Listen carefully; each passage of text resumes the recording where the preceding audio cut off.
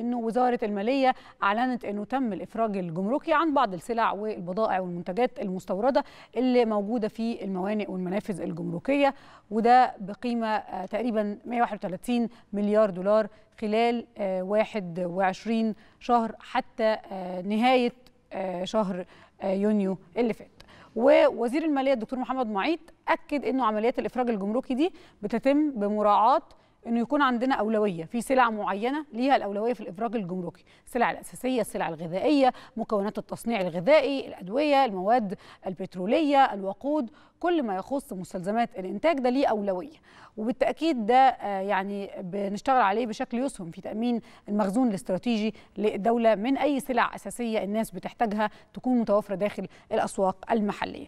نكون دلوقتي معانا على الهاتف دكتور محمد شادي باحث الاقتصاد السياسي بالمركز المصري للدراسات الاستراتيجية. مساء الخير على حضرتك يا دكتور ولو تطلعنا كده على أهم يعني المواد اللي تم الإفراج عنها الإفراج الجمركي في هذه الإفراجات. طيب هو بدايه بس قبل ما نتكلم عن المواد هو ده معناه إيه؟ يعني الرقم اللي حضرتك قلتيه دوت معناه إيه؟ إحنا ده معناه إن الدولة مستمرة في توفير حاجات السوق ومستلزمات الإنتاج اللي ضرورية جدا علشان تكافح التضخم وارتفاع الأسعار. صحيح. وزي وزي ما حضرتك عارفة إنه ال الإفراج الجمركي بيتم بالدولار يعني حضرتك بت ال ال كل الواردات اللي جاية من الخارج دي مم. بيدفع ثمنها بالدولار وده معناه إن مصر قادرة توفر الرقم الملياري 121 مليار دولار دول مصر قادرة توفرهم في الفترة بتاعت ال 21 شهر اللي فاتوا. مصر قادرة توفرهم بانتظام.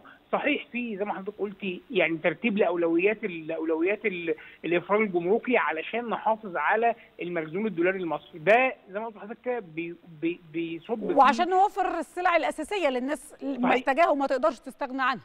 هو ده بالظبط كنت هقول لحضرتك حالا. بي بيصب فيه حاجتين أساسيين. الحاجة الأولى إنه مصر قادرة توفر احتياجاتها من السلع الأساسية. أو السلع الاستراتيجية التي لا غنى عنها للمواطن واللي بتم- بتمس يومه الحقيقي. قصدي يومه ال- يومه ال- الأساسي. وبتمس احتياجاته الأساسية خاصة المأكل والمشرب ويعني أكل ال- ال- ال- الحيوانات والطيور آه، اللي المواطنين بيستخدموها.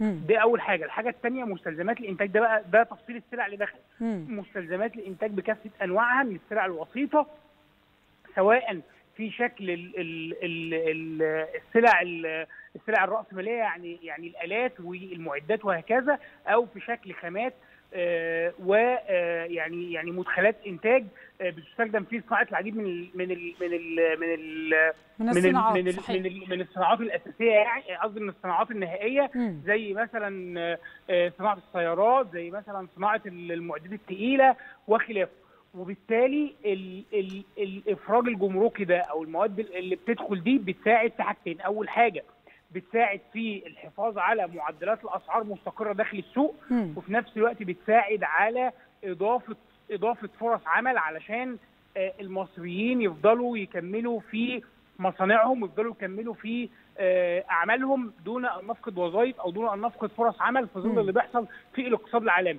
وبالتالي أنا من ناحية بوفر الأكل ومن ناحية ثانية بوفر فرص العمل علشان نحافظ على آه، معدلات النمو بتاعة الاقتصاد وفي نفس الوقت خد بال حضرتك إن القيمة اللي بتضيفها. المدخلات ال- ال- الوسيطة اللي دخلت عبر ال- الم- ال- المنافذ الجمركية دي بتساهم مرة ثانية في آه، يعني يعني يعني إعادة الدولار جمرك إعادة دولارات ثانية لمصر لأنه جزء منها بيرجع للتصدير الخارج بالذات في صناعة الملابس لأنه زي ما حضرتك عارفة جزء كبير جدا من مدخلات صناعة الملابس بيجي دلوقتي من الخارج سواء بقى أصباغ سواء آه، يعني أقطان سواء حتى آه، آه، جذول يعني أو كده. وهنا يا دكتور محمد تتضح يعني أهمية آه، مسألة توفير المخزون الدولاري للإفراج الجمركي عن مستلزمات صحيح فندم. صحيح. استمرار هذا يعني.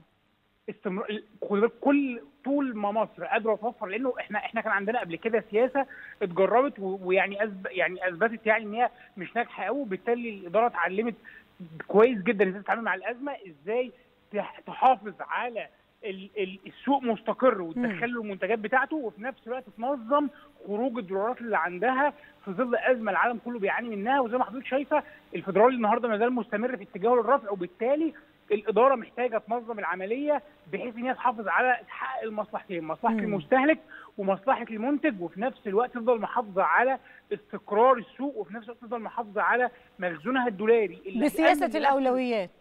بس كده. في ظل أزمة طاحنة وكل شوية عمالة تزيد الأزمة وده اللي كنا بنقول عليه من فترة طويلة جدا إنه مصر الإدارة المصرية عندها القدرة إنها تحل الأزمة دلوقتي حالا لكن إحنا عندنا عدم يقين بشأن حل الأزمة من الخارج. يعني دلوقتي الإدارة المصرية تقدر تحل مشكلة الدولار تقدر تحل مشكلة الواردات في ثانية واحدة بتدخل فوري قاطع لأن هي قادرة تعمل كده لأنه عندها 34 مليار دولار في في البنك المركزي سيوله. لكن هل أنا عندي إدراك حقيقي للأزمة العالمية اللي إحنا موجودين فيها هتنتهي إمتى؟ هو ده اللي يخلينا نلتزم ونتمسك بسياسة الأولويات دلوقتي وسياسه إن إحنا يبقى عندنا نفس طويل صحيح بنعاني معاناة بسيطة لكن المعاناة البسيطة دي بتحميني من إنه أنا أبص في يوم من الأيام مثلا بعد 10 شهور 12 شهر. ألاقي نفسي غير قادر على توفير أكل المصريين أو غذائهم أو غير قادر على توفير المدخلات الأساسية للإنتاج سواء قطع غيار سيارات قطع غيار مصانع أو هكذا. وبالتالي لازم تدبير ال ال ال الدخول ال المواد ال- المستوردة دي أو السلع المستورده دي يكون بترتيب دقيق جدا بحيث إن أنا أحافظ على المصلحتين وهو بينهم صحيح. أنا بشكر حضرتك شكرا جزيلا. دكتور محمد شادي باحث الاقتصاد السياسي بالمركز المصري للدراسات الاستراتيجية شكرا جزيلا على وجود حضرتك معنا